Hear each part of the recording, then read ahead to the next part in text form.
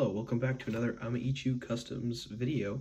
Today we're reviewing set number 76159. The set's name is Joker's Trike Chase. It has four minifigures, uh, three builds, and it costs about $49.99. It has 440 pieces, and I bought this set specifically because of the Batmobile. Um, I thought it looked really cool, and I felt that I wanted to have one. Um, another great plus one is mid-sized legs on uh, Robin, as you can see right there, and the new Harley Quinn figure. Uh, I think that that looks really cool. I know that the head and hair already came out, but it's great to get the full body. Um, obviously, along with this motorcycle piece, I had never had one before, and I just thought it looked really cool. Uh, so yeah, let's get right into the speed build.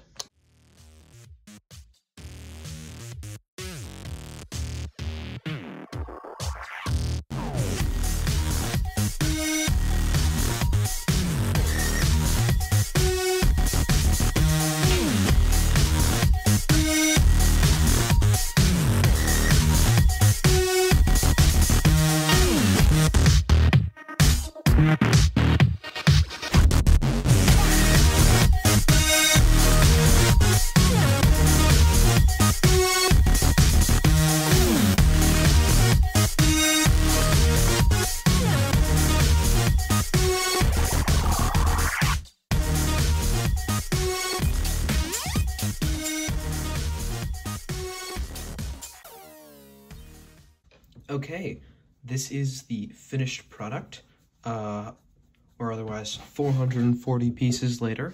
We have our extra pieces right there in the middle, including an extra batarang that's just kind of off to the side. We have this nice Robin cycle.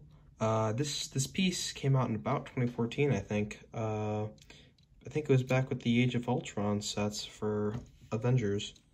It's really cool. I, I like it. Um, I totally wasn't expecting parts of it with studs, but it is. This is a very new piece to me. So yeah, this is Robin's motorcycle. Now, the main reason why I bought this Lego set, it's the Batmobile. I'm pretty sure it's similar to the Arkham game Batmobiles, which is a, a video game line for older people. Yet I've I've played some of the games and they're really fun. Um, I'm just really bad at video games. Uh, they use this new to 2019 printed piece. It has the bat symbol on a uh, four by four kind of dish piece. I thought that, that was really cool. It's been around for a while. I, have gotten a few sets. You might see it later in one of my later videos. Um, I like the interior. It's uh, nice and cozy. I like the way that they did the like headrest. And also I like the use of this piece. I've only had one other piece of this and it was like the 2010 uh, General Grievous's Starfighter. It has this really cool this this use this is a helicopter like windshield piece and it's used as sort of hubcaps, I guess. Uh, not hubcaps, but it, yeah, it, it's supposed to cover the tires and also it's used as the trunk. Uh, and it's got this you know removable engine, I guess, which uses these really cool goblet pieces in silver and these weird silver it, I, I think it's supposed supposed to represent some sort of engine, and I'm supposed it's I, I guess it's supposed to connect to these, which is just sort of an exhaust vent, I guess. Uh, so yeah, it looks really cool. It also has this uh, this weird sticker right here uh, that kind of just shows a bunch of cables. You can't really see it when it's covered up, but it, it, it looks cool. I like these top lights as well. I like that you can angle them, or you can just put them up straight. So yeah, this is the Batmobile. They uh, they did a really good job with this. I, I really enjoyed this because it looks cool and it's something that I can relate to. Uh, this is the Joker's trike, as they call it. It's kind of a wacky build, but it's really cool. It uses a lot of these, uh, I don't really know what the name of these pieces are, but they attach onto normal clips, and they they look like armor, I guess. Uh, they're there's probably like five of them on this thing. Um, there were a lot of stickers, and I think the most were on the Batmobile, but this had a good, I think this had four of them. And they're, you know, right here, right here, here, and here. I mean, this build looks really cool. I like the teeth in the front. Uh, this is a different tire than these front two. This one looks cool. I mean, overall, it looks like a goofy build, but yet it, it's really, like, scary in a way, but not entirely. One of the best parts about it is when you move it, it's like uh, chattering teeth like it's gonna eat up your uh, kids, I guess. Um, it's really cool. It has this piece in there that lifts that up as you drive it. I think that that's a really cool addition because that's one of Joker's gimmicks, especially in the Lego games. Um, so yeah, this is the vehicles, and we have our four minifigure back there. Now, there is this big old box of capes, which I'll get into before I show you guys some minifigures. So yeah, let's get onto those. This is the first minifigure. It's obviously going to be Batman, of course, due to the fact that this set is completely based off of him. So this is the same Batman that they've used uh, for the past, I guess, year now. This is the same Batman as the, you know, this is the 2019 Batman as well. It has some nice back printing.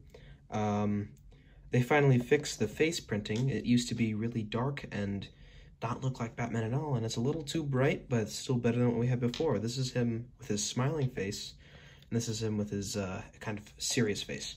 He comes with this sort of wrench tool, I guess, uh, to fix the Batmobile if it needs help, and a batarang. He also comes with another one, but that's sort of a spare piece.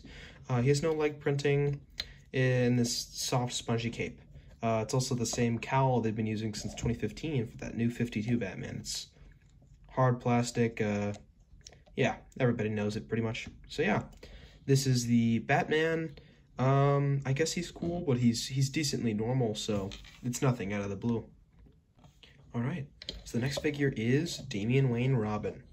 He is the exact same as he was last year, along with Batman back there, except he has mid-sized legs, which are short enough to be like a child's, except they bend and you can actually have them sit down or pose. Um, I think it's cool, but um, I wish they'd change up the printing. It's still not bad printing. I like the uh, the torso print. That's the front print, and this is his back printing. Uh, he has no leg printing, which I didn't really expect because this is a relatively new piece, but I do know that the first time it was released, it did have leg printing. Uh, no arm printing, nothing like that. This nice green, uh, yellow spongy cape that is kind of long, um, and he has two faces, along with this spiky hair that's been used for years and years now. So this is his angry face when he's getting serious and fighting the Joker, I guess, in this case. Or Harley Quinn, depending on whoever he's engaging in attack first. So yeah, he also comes with this really cool staff that's just used by two, and as a lot of kids my age call them lightsaber hilts. Back when we were kids, that's the pieces they used, and they still use them today. And this uh, flat silver or light gray rod. So yeah, this is Damian Wayne Robin. All right. So this is the Joker. This is also the same Joker that they used last year in the 2019 wave.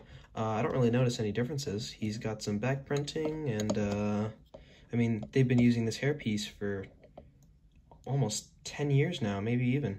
Uh, he's got an angry or upset face, and he has his, uh, well, as expected, crazy smiling face with his yellow teeth, which is kind of pointed at, or laughed at, I guess, with the vehicle.